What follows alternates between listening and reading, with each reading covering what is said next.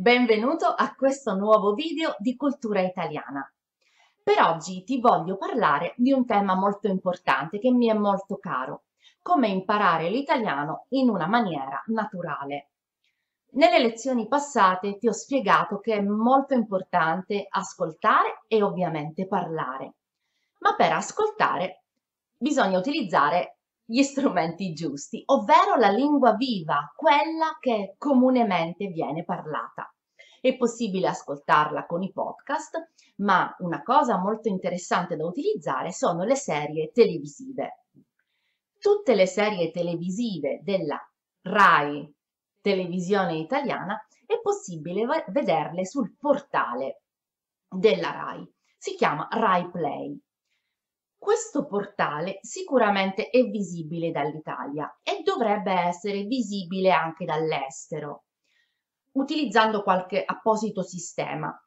E, ehm, ti consiglio di verificare su internet perché in questo modo tu potresti vedere tutte le serie televisive italiane in diretta. Ma se non dovessi riuscirci, io ti consiglio adesso tre serie televisive molto popolari in Italia che sono acquistabili anche su Amazon. La prima serie che ti consiglio è Don Matteo. Don Matteo è un personaggio molto popolare in Italia. Don Matteo è un prete detective che aiuta a risolvere i casi dei crimini più difficili nella piccola città umbra di Gubbio. Don Matteo collabora con i carabinieri locali e grazie alla sua intelligenza e alla sua conoscenza della comunità riesce a trovare sempre il colpevole e l'innocente all'interno di casi molto molto complicati. Questa serie è interessante non solo per la storia e per il linguaggio che è molto fresco e piano, regolare, ma anche perché puoi vedere la bellissima campagna umbra. I paesaggi sono veramente affascinanti, interessanti. Cambiamo regione e ci spostiamo nel Lazio e andiamo a visitare i Cesaroni. I Cesaroni è una serie ambientata a Roma e parla di una famiglia allargata. Giulio e Lucia sono due ex fidanzati che si rincontrano, si rinnamorano e decidono di andare a vivere insieme, insieme ai loro rispettivi figli e si crea così in questa grande casa romana una situazione divertente, a volte malinconica, a volte comica e così dolce e amara come la vita. Eh, ti consiglio di guardare questa serie perché ci sono alcune, alcuni episodi, alcune scene, alcuni modi di fare eh, che rispondono all'idea del pregiudizio su, sugli italiani, quindi molto comunicativi, chiacchieroni, allegri, appassionati, è molto divertente. Guardala. E per ultima, ma non per importanza, ti consiglio la mia serie del cuore, il commissario Montalbano.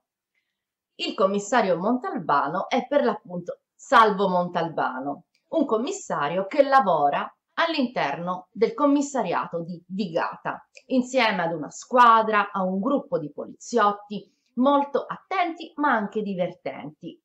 Vive una storia d'amore molto lunga e interessante con la sua fidanzata Livia, ma subisce il fascino di altre donne, di altre amiche, è un uomo molto amato.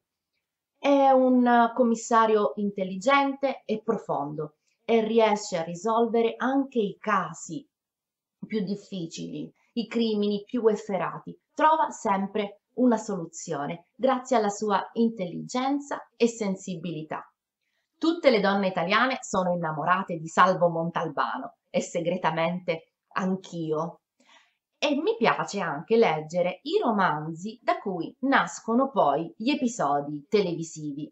I romanzi sono scritti da Andrea Camilleri e sono dei romanzi sempre ben scritti, straordinariamente scritti e molto interessanti sono adatti però a livelli più avanzati perché ci sono molte parole e, e frasi in lingua, in uh, lingua siciliana, in, um, in dialetto siciliano.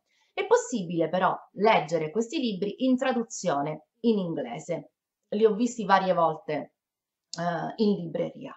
Bene, anche per oggi è tutto. Noi continuiamo questa conversazione sulla mia pagina Facebook. Ricordati di andare a scaricare il podcast della lezione dal mio sito internet e noi ci vediamo il 7 di luglio per un altro video in italiano. Ci vediamo prestissimo. Ciao ciao!